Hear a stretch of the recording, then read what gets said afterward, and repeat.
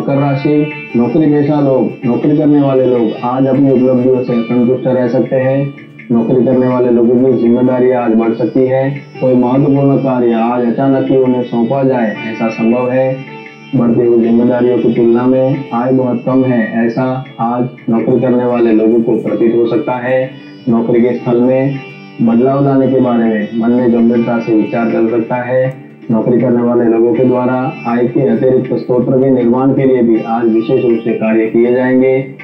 दिन पूरा होने तक नौकरी करने वाले लोगों की कुछ जिम्मेदारियाँ अधूरी रहे ऐसा संभव है। व्यापार व्यवसाय के क्षेत्र में भी आज आपको महत्वपूर्ण धन लाभ हो, ऐसी संभावना बहुत कम है। आपको नियमित रूप से मिलने वाले धन लाभ की तुलना में आज होने वाले धन लाभ में काफ़ी हद तक या बहुत अंश तक कमी आ सकती है।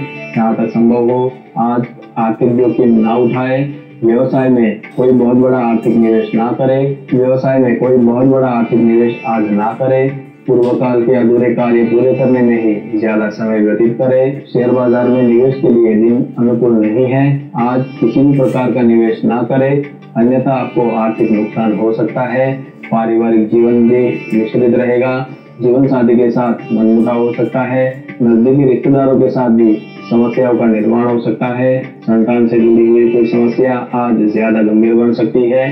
आपका स्वास्थ्य ज़्यादातर अनुकूल रहेगा, लेकिन व्यवसाय के क्षेत्र में प्रतिकूलताओं की वजह से और पारिवारिक मुद्दे पर क्लेश की वजह से आप तनावग्रस्त रह सकते हो।